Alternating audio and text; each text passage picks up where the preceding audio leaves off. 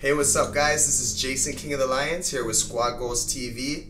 And I know you guys probably want me to have a Pokemon Go video right now or something funny, but there's a serious issue that I need to address. So today's video, we're going to talk about self-inflicted wounds.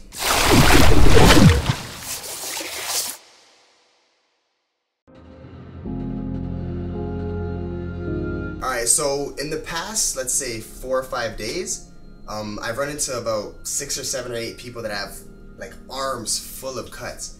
And the first thing that I think when I see those, not like, oh, that person's messed up or they're probably like so crazy. The first thing I think is it didn't even have to come to that. Um, in Canada, we actually have a kids helpline. I'll have that number hopefully right here. But there are numbers you can call if you do have problems, if you're feeling this way. I'm gonna tell you guys a little story. Um, a lot of people think I'm very well off, I'm very positive all the time, I'm always happy. One thing you guys won't know about me is I went through a crazy amount of depression growing up.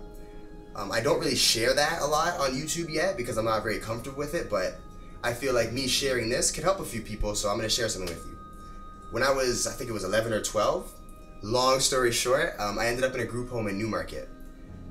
It was a bad experience, I'm not gonna get into that right now, but it had me very depressed. Every morning I woke up for about a year, I would cry in the shower. And yeah, you probably can't notice that just from day-to-day activities I do, but I was very, very depressed. I didn't have anyone to help me out. I didn't have anyone to talk to. I didn't have any outlet to kind of get it off my chest. Hopefully, if you're watching this video, you do. And if you are watching this video, you now do. You can contact me if you ever need to. I've been through a lot in life, so I'll be able to give you guys some really good advice. So a lot of people think depression is something that you can just overcome or or deal with, as people say. Um, it's not that easy even today, like right now, I'm becoming a YouTuber. I have a very good job. I have a really good set of friends. Every single day, those thoughts that put me into my state of depression pop up. It's all about how you deal with it.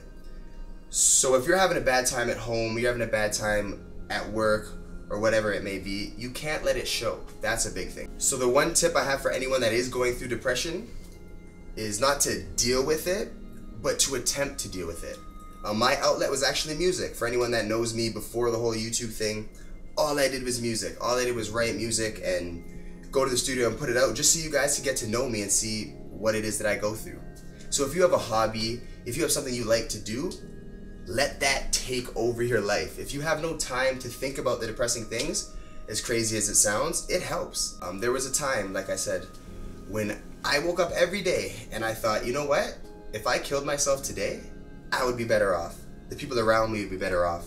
And I feel like the world as a whole would be better off. So I don't blame you guys for thinking that. The thing is, if there's happy moments in life and sad moments in life, you don't want to focus on the bad moments. You want to focus on the happy times.